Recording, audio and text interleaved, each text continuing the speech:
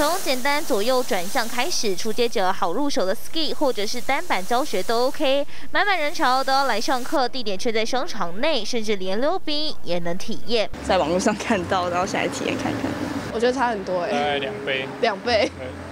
不过这也太高级了，适合有钱人。这个新的溜冰鞋很棒，然后。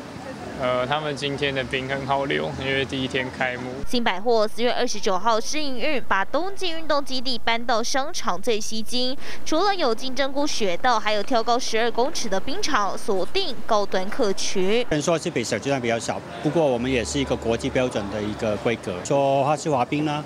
还有冰球啦，还有冰石湖。其他亮点也抢先看，包含日本中目黑咖啡在这开设全台首间店，刚开门就有大批粉丝来朝圣。同时还有法国艺术家设计的主视觉，更有空桥连接美丽华，礼品年营收冲上二十亿。美丽华它的面积比较大，它也能够服务的是全课程的部分，在三十五岁到五十五岁，那呃中阶中产阶级以上收入的消费者，像高端。客，但大直商圈先是家乐福，因为租约到期退场，五月 ATT 也要歇业，现在就只剩下元楼、美丽华和以吃为主的全大直。呃，内湖大直地区来讲，其实高消费力的消费者蛮多的，精致而且是有风格、有选择的。试营运首战告捷，成功吸引人潮，但能否真正做出市场区隔，在大直存活下来，还需要时间考验。